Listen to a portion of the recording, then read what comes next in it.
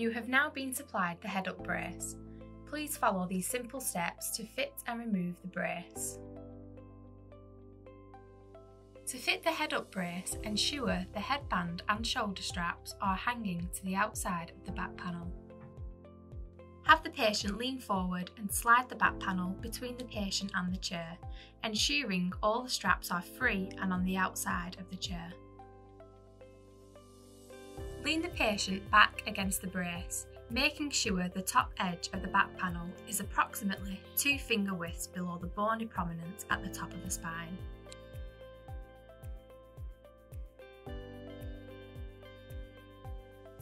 Wrap the pelvic wings around the body and fasten with the clip buckle.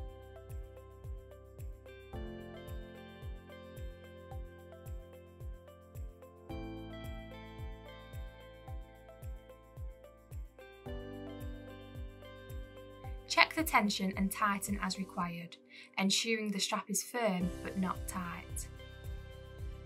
If the patient has any feeding tubes or devices, check the strap is not obstructing them. To fasten the shoulder strap, take the strap and feed under the arm. Slide the shoulder pad along the strap so it is located on the shoulder bone.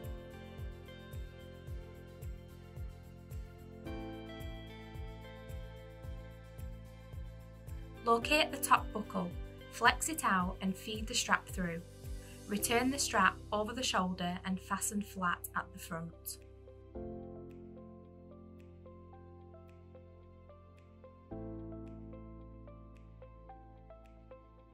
Ensure the hook tab is placed across the bar on the shoulder pad, as this will help to keep the pad in position. Repeat this on the opposite side. To fasten the headband, wrap the strap of the band around the front of the head and fasten the swivel clip. Using the webbing strap, adjust the tension to the position required as discussed with the patient's clinician, checking the straps are firm and not causing an obstruction on the ears.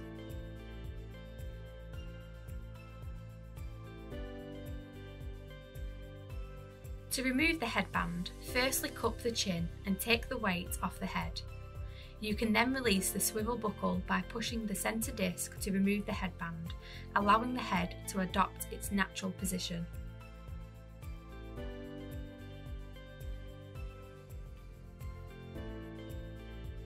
To remove the shoulder straps, peel the strap towards the shoulder, taking care to leave the hook on the shoulder pad. Then slide the strap back through the loop and lower the strap behind the chair. Repeat this on the opposite side. To remove the brace, squeeze both buttons on the clip to release the buckle and allow the pelvic wings to open. You can then carefully slide the brace out from behind the patient.